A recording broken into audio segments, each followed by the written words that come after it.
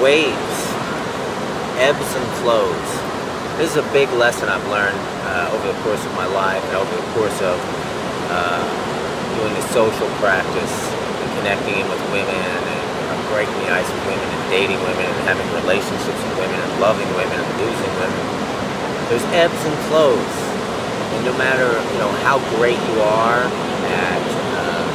seduction or how great you are at conversation or your skills of engagement or how great you are uh, you know at being charming and building rapport and no matter how great what your skill level is or, or what your ease with people is there's always ebbs and flows when it comes to uh, women.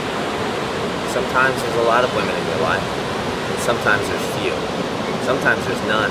For months and then you agonize. Why is nothing working out? Why isn't it happening? Where's my love? Where's my lust? Where's it all at? Maybe I've lost my mojo. Maybe there's this.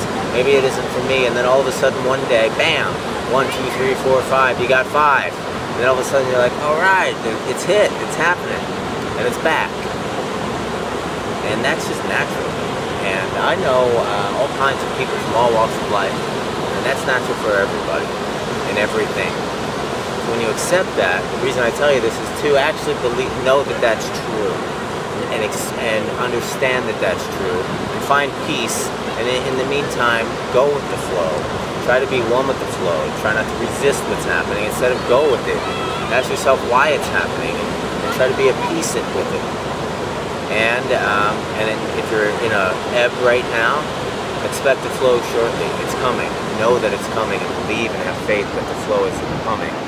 And when it comes, you'll be prepared.